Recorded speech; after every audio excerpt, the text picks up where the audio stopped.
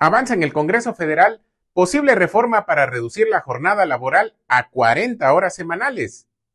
La Universidad de Anáhuac expulsa definitivamente a alumno que golpeó a un guardia de seguridad en Puebla. El peso mexicano cierra noviembre con broche de oro.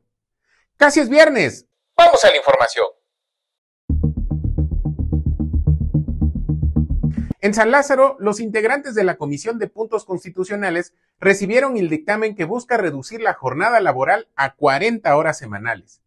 Aunque sostienen que falta integrar opiniones técnicas y del Parlamento abierto, lo cierto es que hay un consenso unánime entre los legisladores de Morena de que a esa iniciativa no se le cambie ni una sola coma. Parece demasiado bueno para ser cierto, ¿verdad?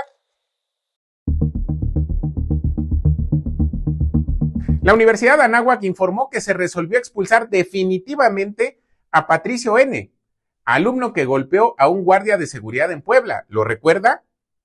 Ante las acciones graves generadas por el alumno, las cuales van en contra de los principios fundamentales de nuestra institución, se ha determinado la expulsión inmediata y definitiva del alumno, sostuvo la Anáhuac en un comunicado.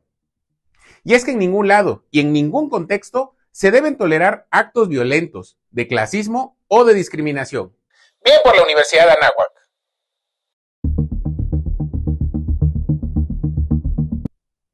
Y fíjese usted que hoy el peso mexicano y la bolsa culminaron un mes de importantes ganancias después de conocer la semana pasada que la economía doméstica ha venido creciendo más de lo esperado. La moneda mexicana cerró en 17.37 unidades por dólar, con una ganancia del 0.59% frente al precio de referencia del miércoles pasado. Aún así, sumó en noviembre un rendimiento del 3.7%, su mejor desempeño mensual desde mayo de 2022. ¿Qué tal? Está usted informado. En vía rápida, soy Adrián Ortiz Romero. Los invito a dar like y compartir y a seguirnos en exclusiva en los portales Libertad Oaxaca, Viral Noticias y Al Margen. Hasta la próxima.